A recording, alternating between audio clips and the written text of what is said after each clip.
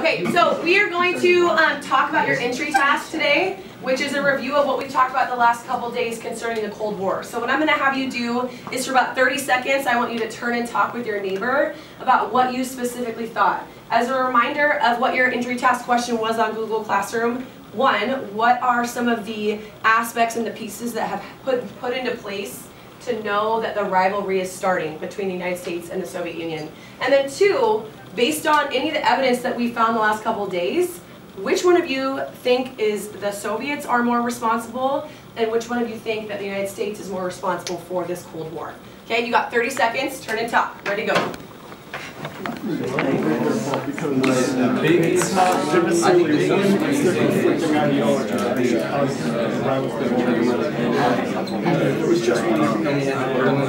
you think like it takes like tango, basically?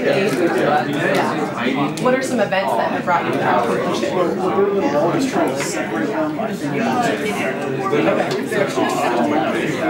Okay. Cool. So like almost day. It's days after. Yeah.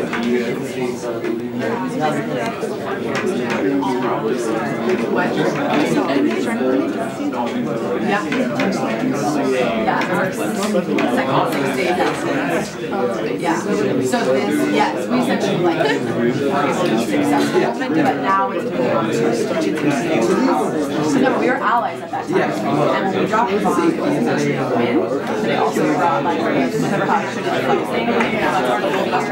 you that. Yeah, yeah, good.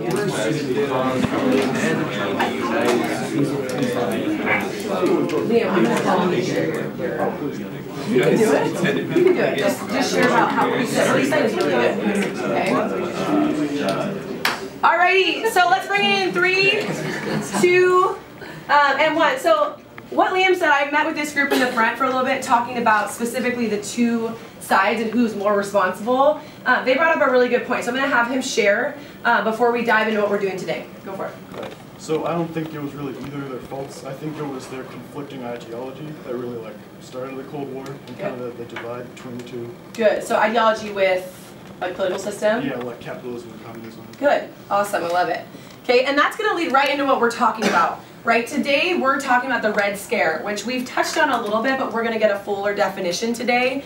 We're going to review our OPVL and our sources, um, and your target by the end of the day is to be able to understand the Red Scare, be able to describe it, understand how it affected America, um, and then review our OPVL system. Let's look at a specific source and decide if it's credible, right? And we're going to use the content of the Red Scare to do that. So you have your Cornell notes in front of you. I'm going to have you grab that. Um, I'm going to show you what we're going to do. We're going to, our topic today, as always, on the top with this unit is the Cold War. So you can fill that in. Yeah, go ahead and grab it. Okay. You can fill in our date, our essential question of the day. And our essential question really is connected to our learning target. How did the Red Scare affect Americans during the Cold War? Um, and I think a lot of us, we've talked about how it affects the government, but we want to look at like, how does it affect our daily lives, our citizens' lives? And the origin of the source we're going to look at today is going to give you a preview to that. Okay? And then next thing is when we're doing our notes, we're going to do a definition today. You'll add more to this, obviously, but this is a newer way um, of taking notes in here, so I want to make sure we fully understand what we're doing. So take about another 30 seconds to get that down, and then we're going to move on.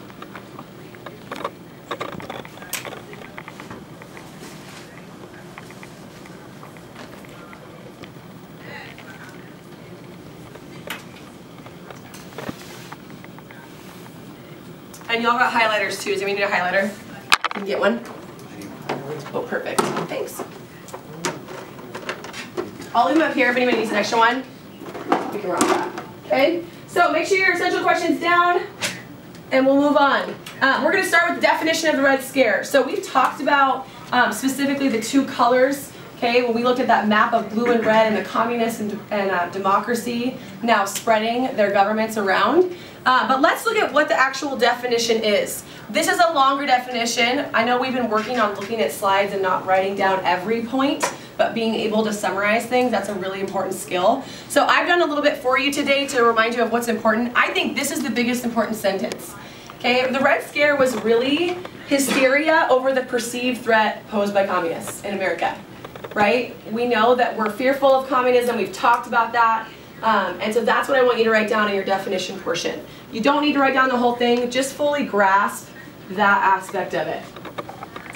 Yeah? Are we going to use every line or can we? No, you can, that's a great question. You can do um, whatever you want with that. If you want to organize it and you're right, we have a couple other copies of that too, so you can add more. so Okay, if you want to skip lines, totally can.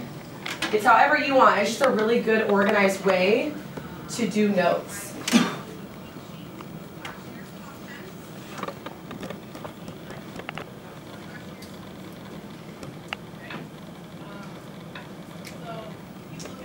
Awesome. Okay. So again, today we're going to use OPVL, right, which is a skill we've been working on to look at the Red Scare. Okay. Um, and OPVL we know is source analysis. Okay. Um, and we're going to look at why that's important. We're going to review that. I'm going to have you answer these three questions. Um, if you didn't get this full thing down, that's fine. We'll, we'll go back more later, but I want to make sure we continue to move on with this. Um, number one, what does OPVL mean? Right, we know it. We're going to go through it in a second. Two, why is it important to source analyze? Right, when we look at sources in, in school, when we're writing papers or we're, we're making an argument, why is it important to know the source? Okay, and then three, I want you to connect it to today. You know, you're 17 years old. You see sources all the time through social media, through the radio, through the TV. Why is it important to analyze your source? Um, and know that you know that's real, fake, is it biased, is it credible, right? All those things. So OPVL, let's talk about this. O stands for what? Origin. Origin. P stands for Purpose. um, V stands for Value. and L stands for limitation. Okay, so I'm gonna have you turn and talk right now, and I really want you to think deeply about these two questions. Why is the act of source analyzing important? Okay, and then why today? Think about your life. Remove yourself from school. You know, when you're watching the news or you're doing things, you know, why is it important? I know you don't watch the 11 o'clock news probably. Does anybody watch the 11 o'clock news like their parents? You do? That's awesome. I think that's awesome. So I, most of you probably get your news from your phone. So think about when you're looking at Twitter, when you're looking at all these things, how can I analyze the source? Turn about and take about maybe 30 seconds and talk with your neighbor about that. Ready to go.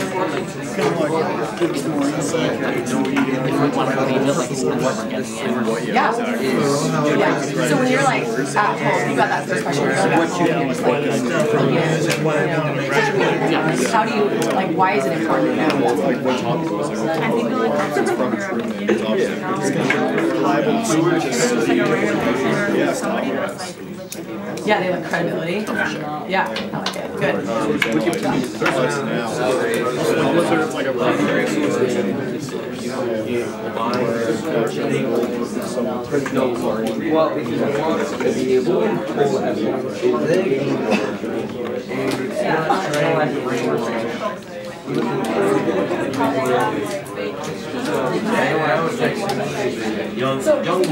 why is it important to? Why is it important to specifically, like when you are told something? If I like think about your life, if I were to tell you a secret, you know, or a thing of gossip or a thing like that, why is it important for you to kind of question me almost, or think about who I am? Am I credible? Do I have a tendency to maybe embellish or lie? Do I have a tendency? exactly? What's my motive in saying that?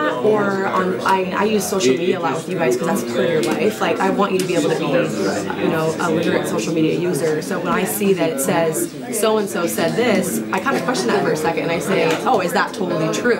Or is that source maybe a little bit biased? Or is that source that's the importance of? Evidence to prove. Exactly. Totally. Right on. Good. All right, so let's bring this in really quick. Okay, um, I heard a couple of different really good things while walking around. Um, over here, Jesse talked about just looking at the credibility of a source. Um, I think that's really important, right? She hit that on the head when it comes to you got to know who's telling you these things or the source itself. Okay, sometimes we hear it verbally, but other times we read it. So is that source credible? Is that source biased, right? That's what Caitlin was talking about.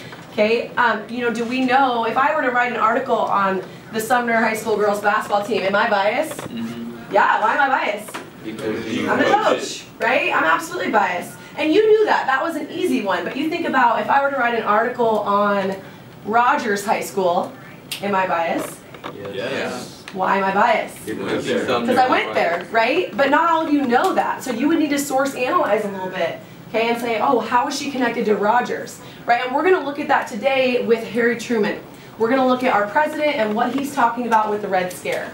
Okay, so right now what I'm going to have you do is um, look at your OPVL. So flip your paper over. Your OPVL is your origin, purpose, value limitation, right? You guys rock that. We're going to look at how this is important. And we're going to source analyze this document. I borrow this from you? So this document um, is a document you are using. Hey, Sarah. Um, you can totally have a seat. Um, it's a document we're going to use to look at what the Red Scare is doing to Americans. Uh, what I'm going to have you do is I'm going to have you look at the origin portion of this right now on your own. Take one, maybe two minutes. I have two minutes on the clock if we need it. Um, and I'm going to press go and you'll have that time to do part one of the origin. You don't have to read this source for the part one. You are just simply looking at like, I call it the bones, right? Like the date, the, um, the author, things like that, just to get like a, you know, a basic understanding. So right now, do that on your own. Um, and we're going to share out in about two minutes. I'll get you a coffee, Sarah. Mm. Your timer's on the clock on the board, so if you need to know how much time you have left, it's on there. It, so you're taking some on the definition. So we are just using, you've seen this before, our OPVL. Uh, so you're doing part one, and you're going to like who the author is, what is the title, what is the author's story, things like that. Good to see you.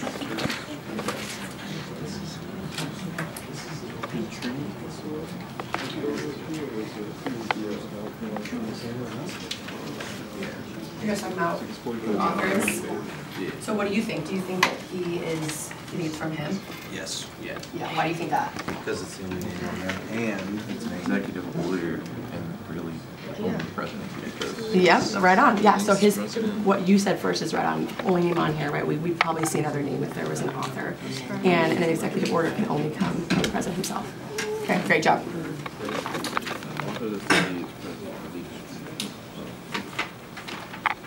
Tiger doing? I couldn't tell you.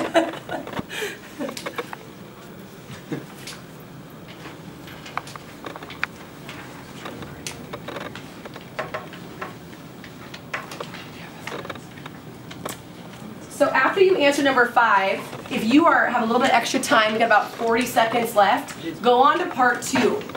Think about some of the questions in part two of the, uh, the origin piece, if you are done. Yeah. So think about this.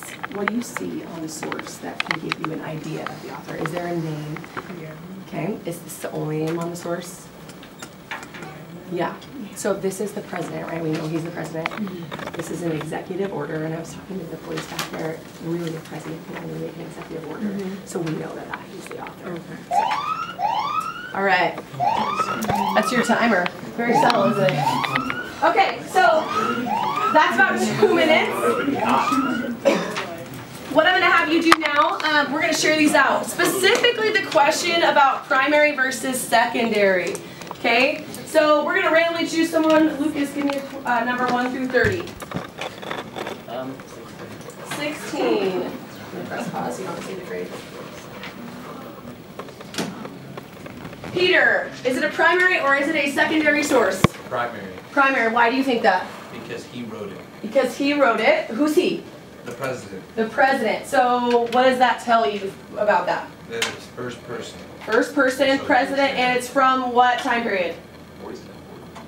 1947, 47. right? So that's from the time period that this is happening, right? It's in the heart of the Cold War, so we know that's primary. We know it's first person from someone who was there during the time period, right? If I were to write a paper on how great this executive order is, is that a primary or secondary source? Secondary. Secondary. Why do you know that, or how do you know that? You weren't there. I wasn't there. Okay, I don't really know. Right? We've talked about a lot about primary versus secondary sources. Okay. Primary source. Say it again. You're writing about the primary source. Yeah. So I'm a lot of times secondary sources are written about or using primary sources. Right? When you write your paper at the end of this whole uh, shebang, if you will, the whole unit, you are going to use primary sources to be able to write that. But your paper itself is a secondary source. Now that can change depending on what, you know, what happens. When I was in college, I wrote a paper and I interviewed someone that was there. My interview with that person is absolutely primary, right? Because they were there, they were able to talk about stories. My paper was secondary. So I was able to be a part of both of those. And I really want to make sure you understand that because that's important, right? Primary sources can be really valuable when you're studying history. Okay, we're going to move on to part two. Um, and part two has two questions. Zach, will you read me the first question, please? Uh, why did the author write this source, and what action does the author want the reader to take? Good. The why, right, is the motive. What's the motive behind this author's source? Why is it important to know someone's motive? Turn and talk with partner A right now. Why is it important? 20 seconds, ready, go. Why is it important? It'll be easier to understand the words. The um crap. Why is it important, guys? What do you think? Diction. Does motive matter? If I'm, if I'm arguing or I'm saying something, does motive matter? You're right. So why, why? Why does it matter? I don't know, like, You're on the right track. to like get, know what they're, what they want to do. Yeah. Yeah, maybe what their thoughts are behind it. Like if I was gonna ask you to do something and I didn't like you, yeah. maybe my motive is that. You know what I mean? Of course I love you. So if I were to ask you to do something, then you know maybe I like you and it's different. It's different motive than. It's like a vibe. Yeah, a vibe. I like it. It's a good way to put it. But yeah, it's definitely the biggest. Because of the All right. Why does motive matter? Tanner, why does motive matter? So you know uh, why they're writing it. Yeah, the why behind it. Okay, what else? What else would you guys add to that? Yeah, Zach. Um, we said like so that you know their intentions. Yes, good. Intentions are important, right? If, if I have a negative intention, or maybe I don't like someone, I'm like, oh, you should go jump in that lake. Right? That was a really bad example.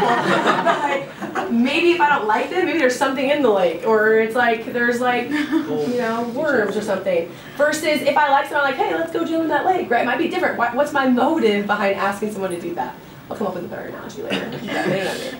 Okay, so what I'm gonna have you do now is I'm gonna have you um, work on our second and third part of this. So our purpose, our value, and our limitation. What value does this executive order bring us? What limitation? Okay, so you've got to start reading at this point. We did the origin piece, which you can learn about without reading. So we're going to annotate today. We're going to underline key mm. points. We're going to circle key vocab words, and you're going to question in the margins. Okay, like normal. So I'm going to have you just read this first part, um, the first chunk, which is about three, two to three paragraphs, small paragraphs, and then we're going to share out some key sentences that we think are good. Okay, do that now, please. I think you can do that in two minutes too, so I'll put the timer back on.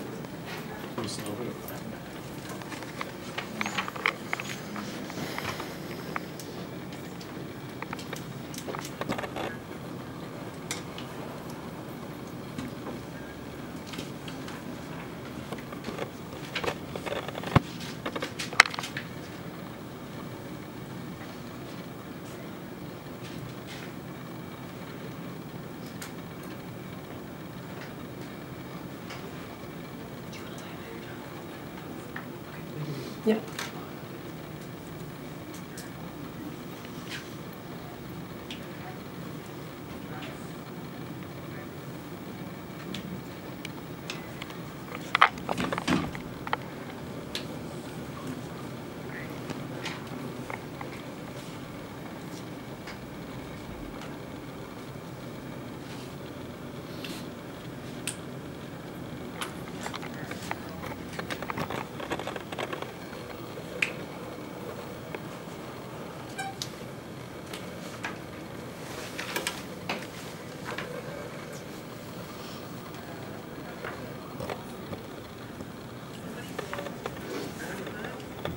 Good job, you guys. Got about 45 more seconds. Make sure you picked one key piece out of that introduction that you're willing to share.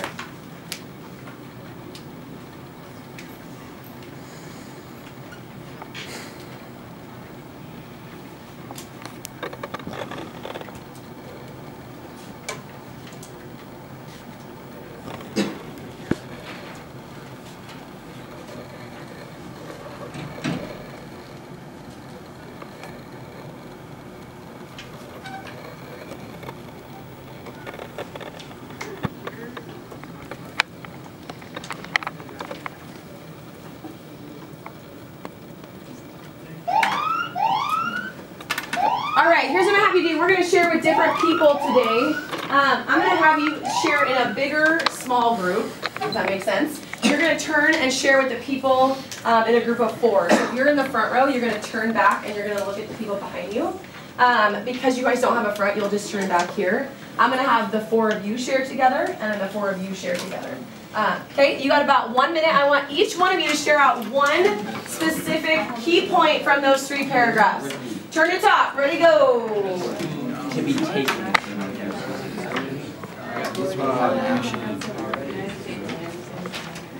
But I think he does have a purpose.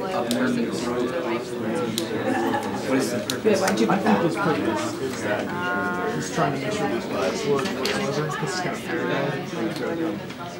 What he wants. Yeah. So right here, the me- uh, measure of trusteeship over the democratic process, which is like a um, his way of saying like, hey, communism is bad. Total democratic. I think where it's like kind of like the city loyalty, but also like saying that no tolerance whatsoever. See, I also, I also like where it maximum protection must be. Same thing. It's, it's like same race thing too. Yeah, I like the point about like holding it to a higher standard. I think that's important. Um, but isn't this pretty crazy? Like how it talks about like the idea of disloyalty. Like that is very similar to what we just heard about like Nazi Germany. You know what I mean? Um, which is kind of scary to think about. Great job, you I guess guys. he doesn't want us to. Then I, I didn't know that. That's a good point.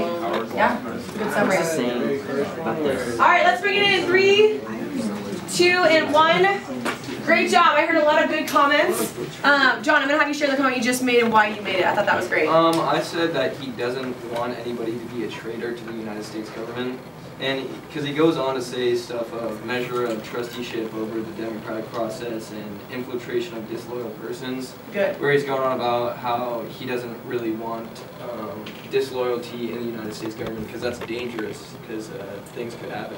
Absolutely. I think about learn like look at our or think about our learning target about being able to describe the Red Scare and say how it impacted Americans. Is what he just described impacting Americans? Right? Yeah. If we're passing executive orders that are essentially calling for loyalty, um, and in some cases not really threatening, but kind of saying like, listen, setting the tone. If you're disloyal, we don't know what's going to happen, but you know this is being said. That's absolutely being able to you know describe and show the impact. This wasn't something small, right? The Red Scare wasn't like, oh, it's just a small thing. It was huge, right? It was impactful and it was fearful. I think about, you know, your parents might not be old enough, but my parents were definitely old enough to remember this time period, um, and grandparents. And, and they'll tell you about it. You know, they'll talk about just the idea of the fear aspect. Um, and fear can be a scary thing, right?